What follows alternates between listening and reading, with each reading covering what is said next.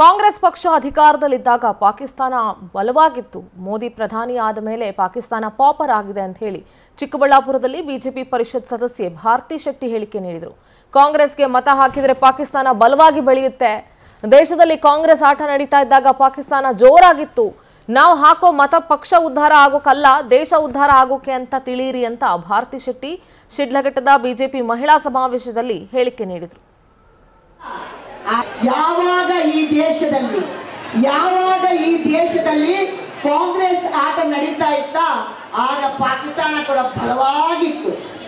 ಯಾವಾಗ ಈ ದೇಶದಲ್ಲಿ ಕಾಂಗ್ರೆಸ್ ಗೆಲುವಿನ ಉತ್ತುಂಗದಲ್ಲಿತ್ತು, ಆಗ ಕೂಡ ಪಾಕಿಸ್ತಾನ ಸದೃಢವಾಗಿತ್ತು ಯಾವಾಗ ಈ ದೇಶದಲ್ಲಿ ನಮ್ಮ ದೇಶದಲ್ಲಿ ಪಾಕಿಸ್ತಾನ ಸೋಲ್ತಾ ಬಂತ, ಆಗ ಪಾಕಿಸ್ತಾನ ಕೂಡ ಸೋಲ್ತಾ ಬಂತು. ಇವತ್ತು ಕಾಂಗ್ರೆಸ್ ನಮ್ಮ ದೇಶದಲ್ಲಿ ನೆಲ ಕಚ್ಚಿದೆ ಪಾಕಿಸ್ತಾನ ಫ್ರೀಡಮ್ ಆಪ್ ಅಲ್ಲಿ ಕಲ್ತು ಬೇಕರಿ ಶುರು ಮಾಡಿದ್ದೀರಾ? ಹಾಗಾದ್ರೆ ನಿಮ್ಮ ಕೇಕ್ಗಳನ್ನ ಒಂದು ಕೋಟಿಗೂ ಹೆಚ್ಚು ಫ್ರೀಡಮ್ ಆಪ್ ಬಳಕೆದಾರರಿಗೆ ಯಾವುದೇ ಖರ್ಚಿಲ್ಲದೆ ಮಾರಾಟ ಮಾಡಿ. ಇವತ್ತು ನೀವು ನೆನಪಿಟ್ಕೊಳ್ಳಿ ಇವತ್ತು ನೀವು ಹಾಕುವ ಓಟು ನೀವು ಹಾಕುವಂತ ಓಟು ನಾವು ಹಾಕ್ತೇವಲ್ಲ ಓಟು ಅದು ಯಾವುದೇ ಪಾಕ್ಷ ಉದ್ಧಾರ ಆಗ್ಲಿಕ್ಕೆಲ್ಲ ನೀವು. ಫ್ರೀಡಮ್ ಆಪ್ ಅಲ್ಲಿ ಕಲ್ತು ಬೇಕರಿ ಶುರು ಮಾಡಿದ್ದೀರಾ?